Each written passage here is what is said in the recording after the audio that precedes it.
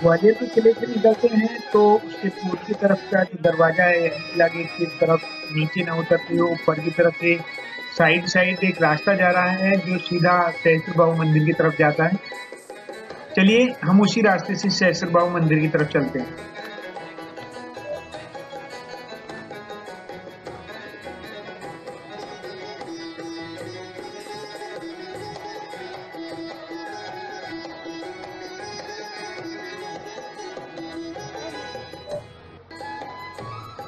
सास बहू का मंदिर, ग्वालियर के किले के पूर्व कोने में दो मंदिरों का समूह, सास बहू के मंदिर के रूप में बड़ा व छोटा मंदिर से लिया जाता है। मंदिर के नाम की उत्पत्ति सहस्त्रबाहु नाम से संभावित है, जिसका अर्थ हज़ार भुजाओं से है। बाद में यह सास बहू नाम से जाना जाने लगा। पुरातात्विक वैभव एवं गौरवपूर्ण परंपराओं के अनुसार इस मंदिर का निर्माण कच्छ कच्छप घाट शासकों के द्वारा कराया गया था।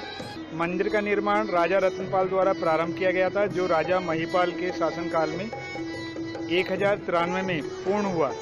पूर्ण रूप से विकसित मंदिर का निर्माण पंक्तिबद्ध रूप से उत्तर दक्षिण दिशा में हुआ, जिसमें गर्भगृह, अंतराल, महामंडप तथा अर्धमंडप दक्षिण से उत्तर की ओर है और समृद्ध नक्काशीकार स्तंभ तथा केंद्रीय सभागार की छत तीन ओर से द्योड़ी द्वारा घिरे हुए हैं तथा बाह्य दीवारें, ज्यामितीय पुष्पाकृतियों, पशु पक्षियों, गज नर्तक, संगीतकार और कृष्ण लीला के सुंदर दृश्यों से परिपूर्ण है। छोटे मंदिर की बाह्य दीवारें भी इसी प्रकार चित्रित हैं। इस मंदिर में एक लघु केंद्रीय सभागार व प्रकोष्ठ भी है। बड़े मंदिर के मुख मंडप में लगे प्रस्तर अभिलेख से मंदिर के निर्माण, धार्मिक समुदाय, धार्मिक कर्मकांड एवं मंदिर के राजस्व के बारे में जानकारी प्राप्त होती है। आज के मंदिर पर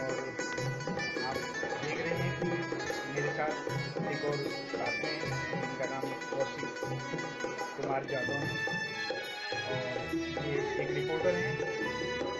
जो रिपोर्टिंग करते हैं और बराबर हमारे साथ रहे चलिए, घूमते हैं ग्वालियर के किले और साथ चलते और गहराई से जाएँगे। आप हमारी वीडियो देखते रहिए और जानते रहिए ग्वालियर के किले यह मंदिर भगवान विष्णु को समर्पित था। इस मंदिर को भगवान विष्णु के नाम सहस्त्रबाहु के नाम पर सहस्त्रबाहु मंदिर कहा गया था। वर्तमान में यहाँ दो मंदिर हैं। एक छोटा मंदिर है और एक बड़ा मंदिर है। दोनों की नक्काशी बहुत सुंदर और देखने योग्य है। बहु मंदिर कहने के नाम पर जो दो किवदंतियाँ यहाँ प्रचलित हैं। एक किवदंती के अनुसार कच्छप शासक महिपाल की जो रानी थी, उन्होंने अपनी सास के मंदिर में पूजा करने से मना कर दिया, जिसके कारण उसने अपना दूसरा मंदिर बनवाया। कुछ लोग कहते हैं कि जब कच्छप घाट राजा अपनी रानी को लेकर के आए तो उन्हें यहाँ पूजा करने के लिए सास ने मना कर मना कर दिया। तो रानी ने अपने लिए एक मंदिर बनवाया और सम्मान में, सास का सम्मान रखते हुए उन्होंने उस मंदिर को छोटे आकार में बनाया। लेकिन उसकी ऊंचाई बड़े मंदिर के लगभग बराबर ही है। आइए देखते हैं सास बहू का मंदिर या सहस्र बाहू मंदिर।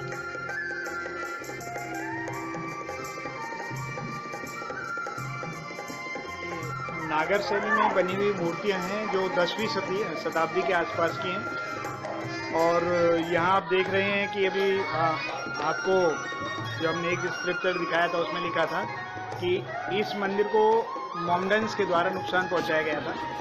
और यहाँ पर आप छोटी मूर्ति देखें या बड़ी मूर्ति देखें जो भी मूर्ति देखेंगे वो आपको खंडित मिलेगी। खंडित का मतलब है उसका कोई ना कोई अंग टूटा हुआ आपको अवश्य मिलेगा। फिर भी आज भी यह हमारी सरकार द्वारा सुरक्षित धरोहर के रूप में है। तो हम आपसे कहेंगे कि आप अवश्य देखें।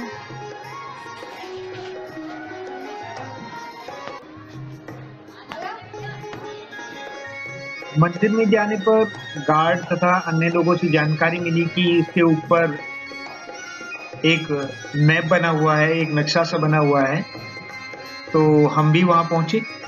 लेकिन ये चढ़ने का रास्ता बड़ा कठिन है या खतरनाक है। इसमें जरा से अगर हाथ फिसला या पैर फिसले तो बहुत चोट लग सकती है, क्योंकि सारा पत्थर का बना हुआ है।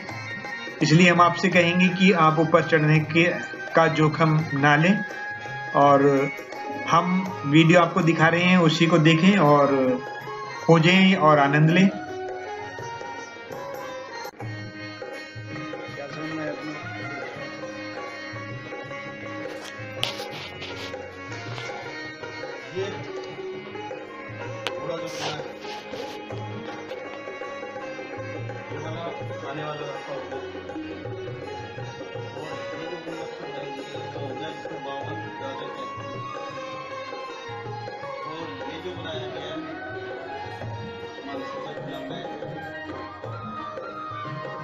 ये किसी द्वार जाने वाला पुरानी महल को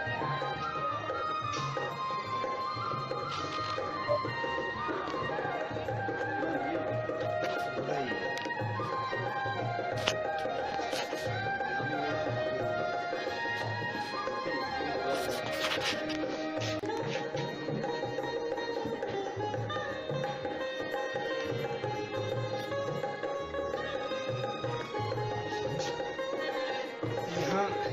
एक शब्द आत्मा उकेरा गया है। ये समझ में नहीं आ रहा कि अभी की व्यवस्था है ये दूसरा एक स्टार बनाया हुआ है। यहाँ पर एक पक्षी है कुछ सीधे रूप में दिखाते हैं, जो मोर के हैं। और ये चोकोर एक, शायद गेम है जो किसी बच्चे ने बाद में फेर दिया है इसमें। और ये आपको घोड़ा साफ़ नज़र आ रहा होगा। और इसी के साथ ये कुछ लिखा हुआ है, जो दूसरी भाषा में है में नहीं आ रहा है। और उसी तरीके से यहाँ भी कुछ लिखा हुआ है। आप देखते हैं, ये एक मंदिर को दर्शाता है। और ये भी एक घोड़ा है, जो दौड़ता हुआ दिखाई दे रहा है। और यहाँ पर भी कुछ लिखा हुआ है। इस पे लिखा है सम्मत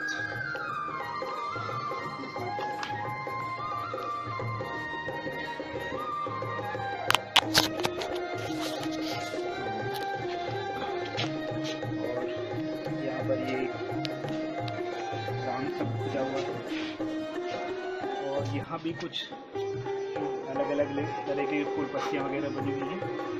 देख रहे हैं। और ये देखिए, शायद ये बड़ा भगवान आपको दिखाई दे रहे होंगे।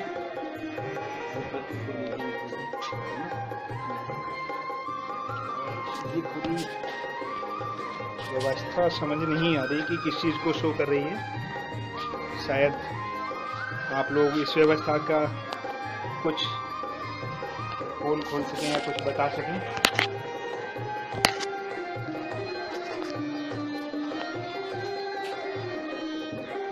तो आपको दिखाने का प्रयास किया है। और हम इस वक्त काफ़ी ऊपर हैं। और ये कबूतरों और चमगादड़ों की विष्ठा यहाँ है, लेकिन साथ ही यहाँ भी मूर्तियाँ भी बनी हुई हैं उकेरी गई ये आप देख रहे हैं। व्यवस्था। बहुत सुंदर। इसे सास बहू का मंदिर नाम दिया गया। आपने देखा तो शायद ये पूरे महल का। पूरे महल का ये हिस्सा रहा हो, या नक्शा रहा हो, जो अभी फ़िलहाल समझ से बाहर है। चलिए, अब क्या है? इसे वैसे ही रहने देते हैं। जितना समझ में आता है उतना समझने का प्रयास किया। और आप अगर इसे खोज सकते हैं, खोजने का प्रयास करते हैं तो अच्छा ऊपर से जब हम देख रहे हैं तो ये चौगोर स्थान दिखाई दे रहा है।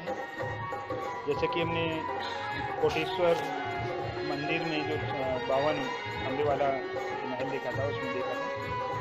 और उसके ऊपर वही जल निकास व्यवस्था रही होगी ये भी हम दिखाने का प्रयास कर रहे हैं लेकिन वहाँ तक नहीं जा सकते, क्योंकि हमारे पास में बहुत बड़ी जगह खाई गैस है और आप देख रहे हैं।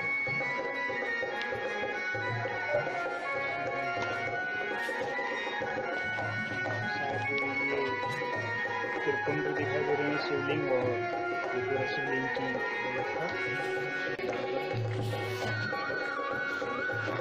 इसी तरीके से हमें यहाँ भी यही दिखाई दे रहा है। मंदिर ही।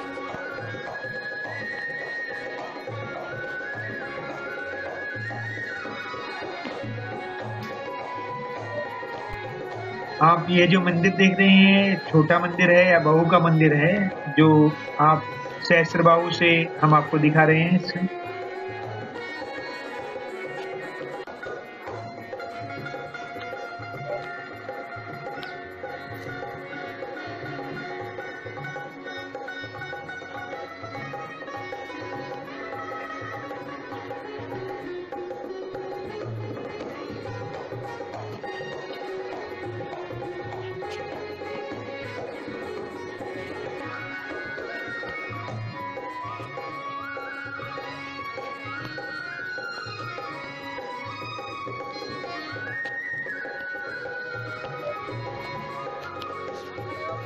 क्या करती होंगी?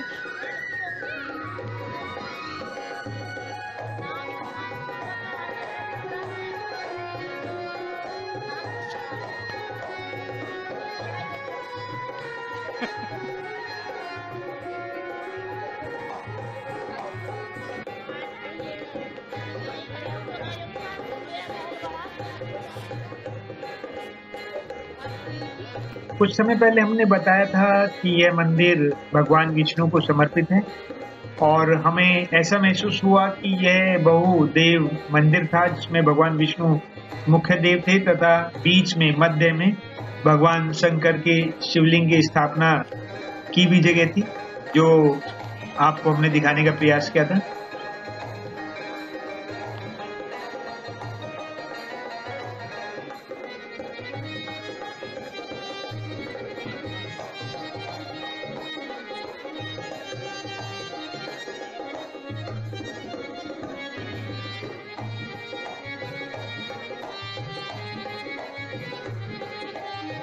यदि आपको हमारी प्रस्तुति अच्छी लगी तो कृपया सब्सक्राइब तथा लाइक अवश्य करें वीडियो देखने के लिए एक बार फिर से धन्यवाद आपका अपना ओम जितेंद्र सिंह तोमर, सहायक विनीता तोमर एवं कौशिक कुमार